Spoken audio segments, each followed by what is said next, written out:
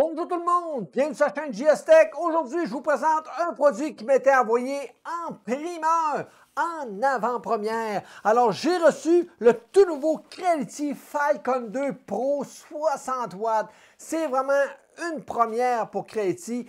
Un graveur de 60 watts, c'est vraiment puissant.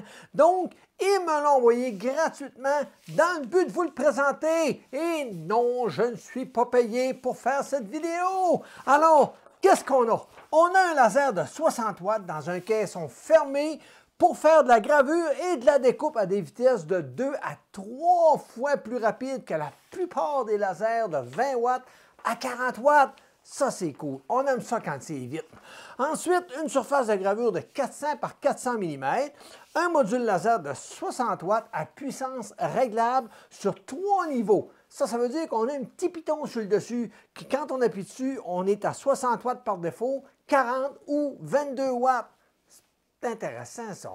Ensuite, on a un module laser qui est fourni avec un autre module laser de 1.6 watts pour la gravure plus précise sur certains matériaux avec un focus de 0,06 par 0,06. Ça, c'est quand on veut faire des gravures d'images ou de photos Image photo, c'est la même chose, ça, sur différents matériaux. Alors, euh, une caméra intégrée pour faciliter le positionnement de vos pièces avec précision, ça, c'est pratique. Euh, avec le 60 watts, on peut couper sans effort du tilleul de 22 mm, de l'acrylique noir de 30 mm et des tôles d'acier inoxydable de 0,2 mm en une seule passe. C'est intéressant ça. Et du même coup, avoir une surface de coupe plus propre due à la vitesse et à la puissance du laser.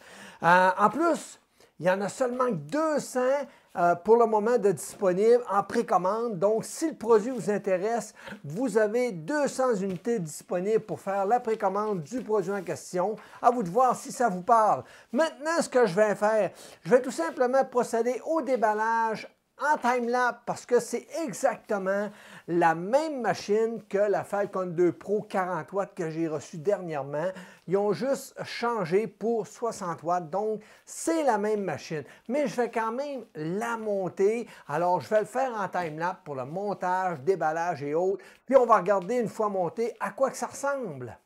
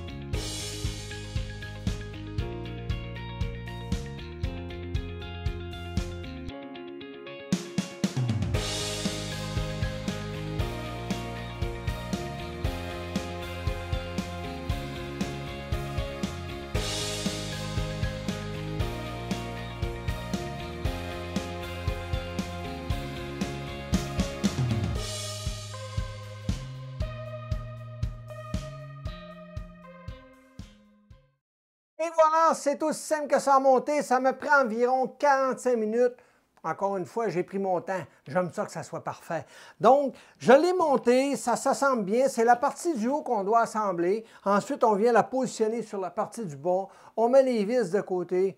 Terminé, le tour est joué. Euh, le plus, euh, on dira pas chiant, ça ne se dit pas. Le plus mal commode, c'est d'enlever les petits plastiques de protection qu'on a euh, sur nos panneaux euh, de côté latéral et sur le dessus. C'est un plastique de protection pour notre, euh, nos panneaux transparents acryliques, je crois. Donc, on doit enlever ces petits plastiques-là, c'est tannant. C'est tannant, c'est pas le fun d'enlever.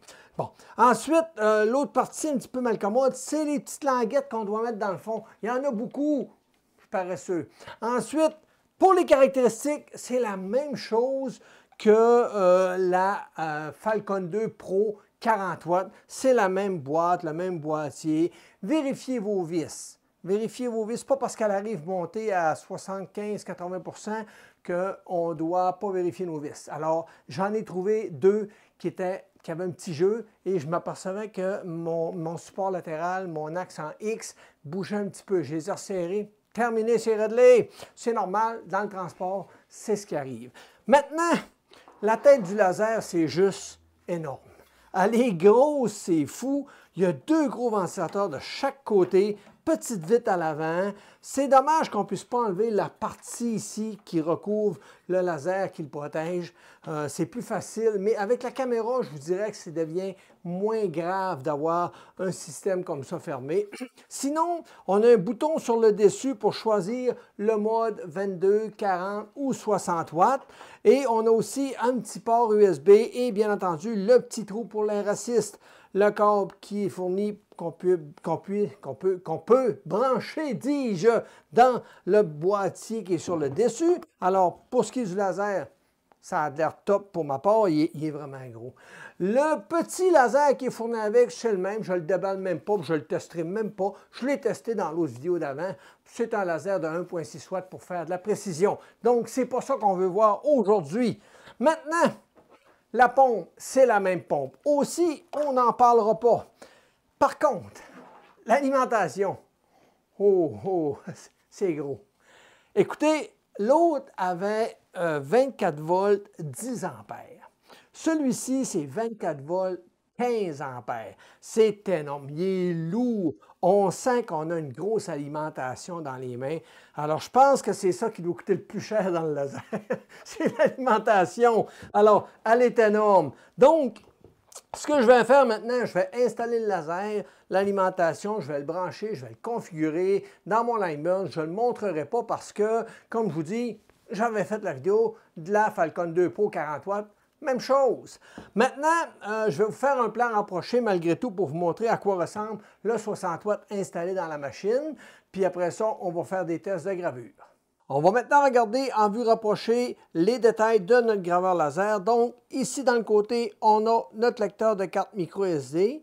On a le port USB-C qui permet de connecter notre Lineburn ou laser GRBL. On a ici le câble d'alimentation qui est énorme. Ensuite, on a le bouton d'alimentation ici. On a un autre câble USB ici, USB-C toujours, qui est pour la caméra, branché à notre ordinateur. On a notre panneau de contrôle qui nous permet de faire un, démarrage de la gravure ou une pause, un contour de notre pièce pour ajuster notre, euh, notre matériel et un home, les quatre flèches pour déplacer notre tête laser, arrêt d'urgence, clé de sécurité, Petite remarque ici, on a deux lumières. Lorsque je viens fermer le couvercle, les lumières sont bleues. Alors, ça indique que je suis en sécurité, que je peux démarrer ma gravure. Si je l'ouvre, il tombe orange et ça fait une pause sur ma gravure.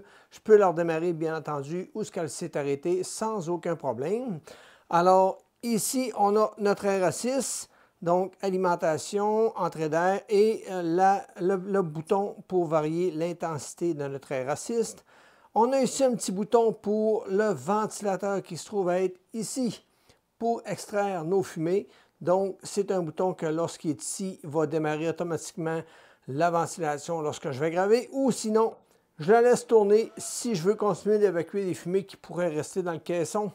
Ensuite, ici, on a notre petit bouton pour la lumière. Si je le mets ici, lorsque je vais lancer une gravure, ça s'allume. Sinon, il est toujours allumé ici. Notre laser, on a ici à l'avant une petite lumière qui flash pour nous indiquer qu'on n'a pas d'air 6, c'est normal. La pompe ne vire pas pour le moment.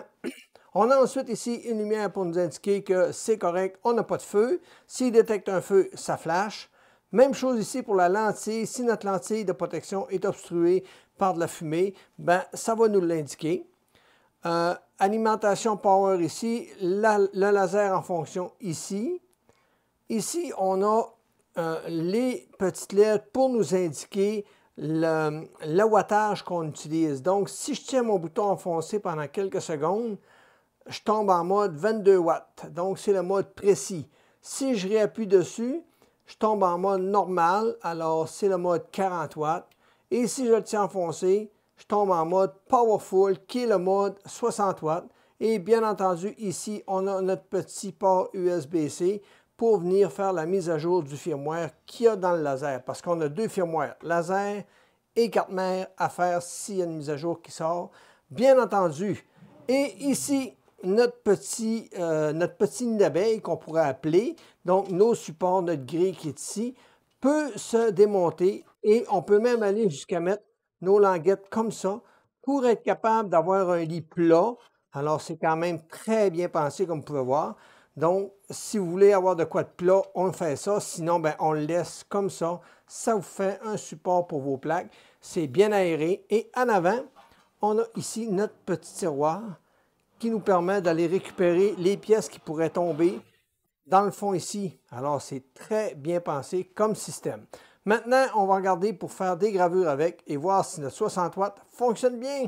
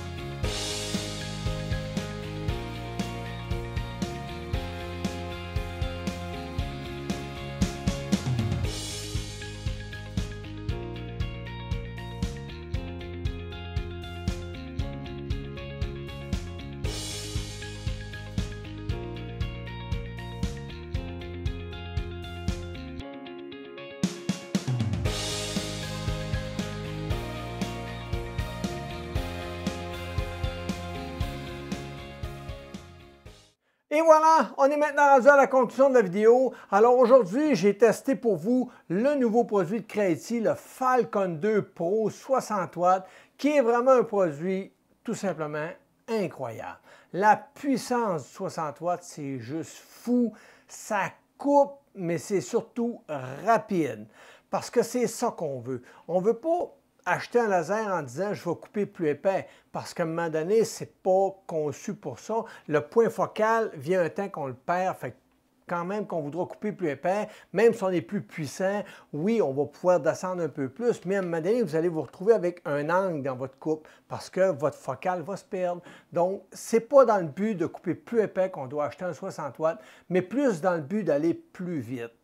Parce que si vous êtes une compagnie et que vous êtes en production, puis vous faites beaucoup de découpes, puis je, dis un exemple, ça vous prend 10 minutes pour couper une pièce, bien avec lui, vous allez diviser par deux, si ce n'est pas par trois, votre vitesse de coupe. Donc, c'est vraiment un produit qui va se payer tout seul si vous en avez vraiment le besoin. Sinon, j'ai aussi testé le mode 22 watts. Euh, ça fonctionne très bien. J'ai fait une belle gravure. J'ai utilisé les mêmes paramètres que mon autre graveur laser que j'avais reçu. Euh, ça a sorti identique, pareil, pas eu besoin d'ajuster rien. Donc, très satisfaisant pour le mode 22 watts. Et je n'ai pas testé par contre le mode 40 watts. Je suis allé tout de suite au mode 60 watts. Mais il m'est arrivé un problème. Figurez-vous que j'ai attrapé le syndrome du laser blanc. Je pensais jamais attraper cette maladie-là un jour, mais comme les écrivains qui attrapent souvent le syndrome de la page blanche, alors j'ai pogné le syndrome du laser blanc.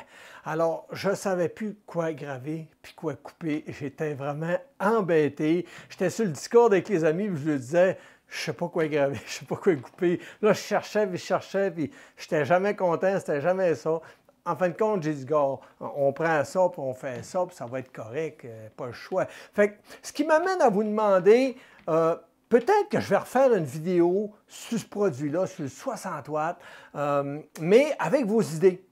Donc, si vous avez des idées pour de la coupe, pas, pas, nécessairement pour la gravure, mais plus pour de la coupe, Écrivez-moi-le dans les commentaires. Dites-moi, hey, on aimerait ça que tu testes à la fête. Arrivez-moi pas avec des projets qui prennent deux semaines, j'ai pas le temps. Mais arrivez-moi avec des tests de coupe, puis euh, je vous dis pas non. Ça se peut que je vous refasse une vidéo avec tout ce que vous m'avez demandé comme test de coupe. Ça pourrait m'aider, ça, parce que j'ai vraiment pogné un syndrome du laser blanc. Sinon, ben, euh, ça a bien été. Comme l'autre module que j'avais eu, comme l'autre euh, Falcon 2 Pro 40 watts, c'est la même chose. Le montage est identique, la qualité de la machine est pareille, tout est pareil. J'ai rien à redire sur le produit, c'est juste top. Le laser travaille bien aussi.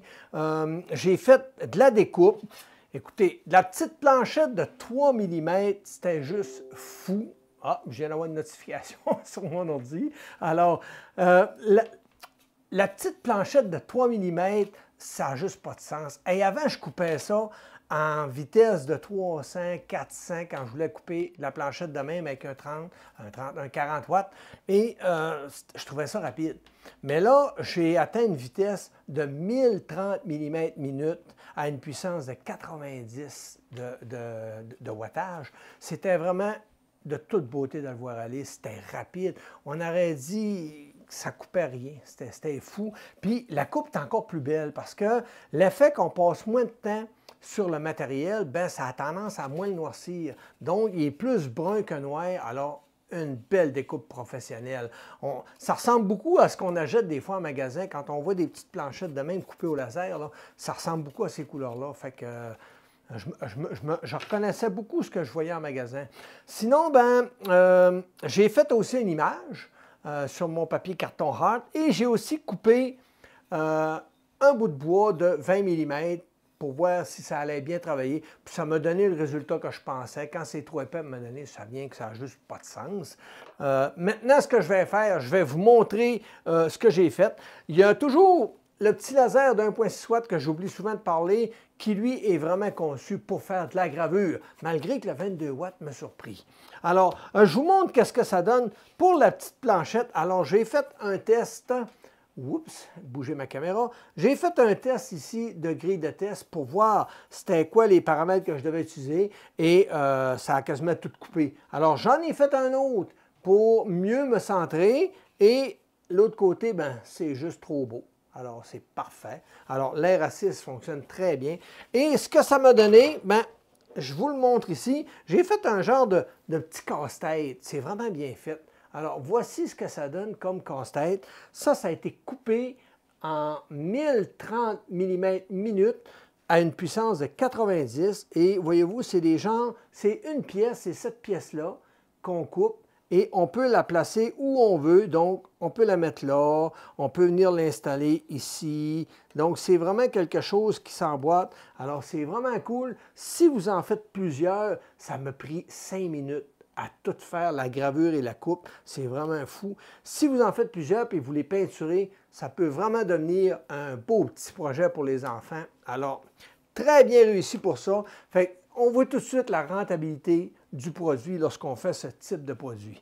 Maintenant, je me suis amusé à couper épais. Je vous montre ça. Donc, j'ai coupé le premier morceau qui est ici, qui a fait une belle coupe franche en une passe.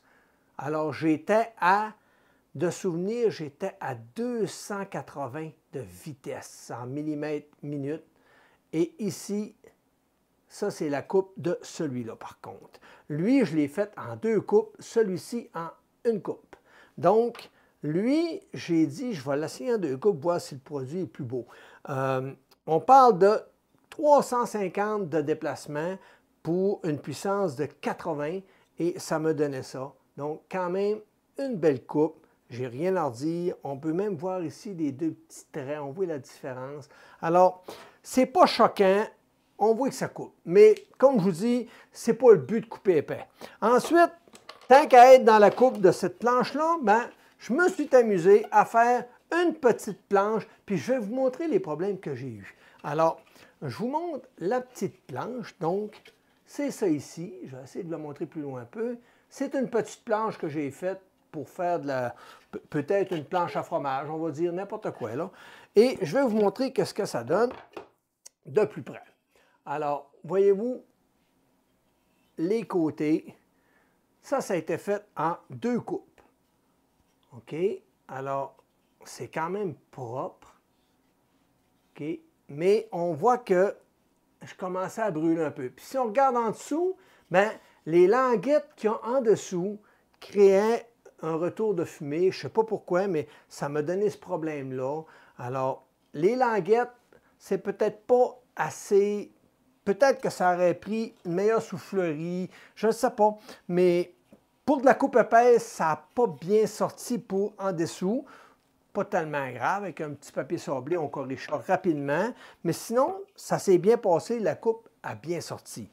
J'ai testé de couper une petite plaque de tôle de 0,2 mm, ce qui est trop épais. Euh, je l'ai testé. Mais pour une raison que j'ignore, mon laser tombait en lentille sale. Il tombait en erreur, il arrêtait de couper à peu près à la moitié, puis il disait, Oups, lentille sale. Puis j'étais obligé de le resetter. J'ai regardé ma lentille, tout est beau, tout est propre. Donc, je ne sais pas pourquoi, j'ai jamais réussi à couper ma petite plaque en plusieurs pauses. Euh, ça ne fonctionnait pas. Je ne sais pas si c'est le fait que ma plaque est transparente, mais je vous montre qu'est-ce que ça a donné. Et voilà.